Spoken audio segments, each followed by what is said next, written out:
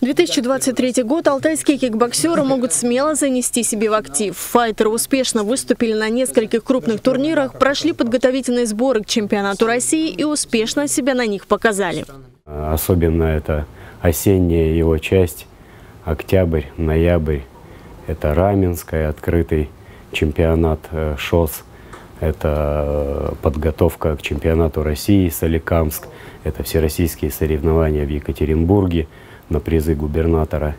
Ну и это, соответственно, чемпионат России, которого все ждали. Ждали чемпионат России почти все субъекты страны и полтысячи участников. Среди них ребята с Алтайского края. Если Михаил Якушев чемпионат России выиграл, то его коллега по цеху Александр Буров забрал серебро, проиграв финал крепкому парню из Красноярска. Первый раунд отбоксировал я скажу вообще на равных. Мы с ним прям, ну, по очкам там в один удар он вел, по-моему. Вот. Второй раунд получился момент а, как-то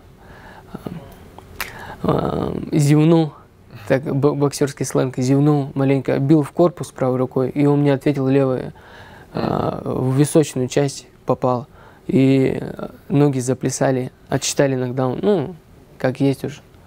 В третьем раунде в третьем раунде опять на автомате просто выкинул ногу, в локоть попал.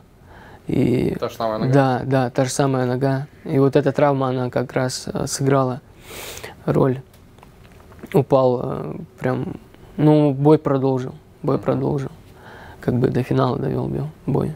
Да, мы стали вторым, заняли второе место, но по итогам года и э, дальнейших э, раскладов мы вошли в состав сборной страны, и на сегодняшний день мы являемся первым номером сборной страны Александр Буров. Частичка Барнаула была не только среди спортсменов, но и среди судей. Николай Чернов – рефери в ринге с большим опытом. На этом чемпионате России судил гала-финалы, главные поединки турнира. Скажем так, сложности никакой не было. Просто работа была, четкое судейство, считаясь как бы чистые попадания. Поэтому сложности нет. Единственная ответственность только была, как никакой чемпионат России. Нужно было как бы сказать, правильно определили победителя. Этот сезон представители алтайского кикбоксинга могут занести в актив со словом «успешный», тем более в обоими сильнейшие кикбоксеры страны. Именно вот они а, своим а, трудом, через кровь и пот, через многолетний труд показали, каким образом нужно добиваться цели. Сейчас ребят ждет небольшой отдых, а после снова сборы, турниры и, надеемся, новые победы. Анастасия Дороган, Дмитрий Дроздов, Дмитрий Денисов. День с толком.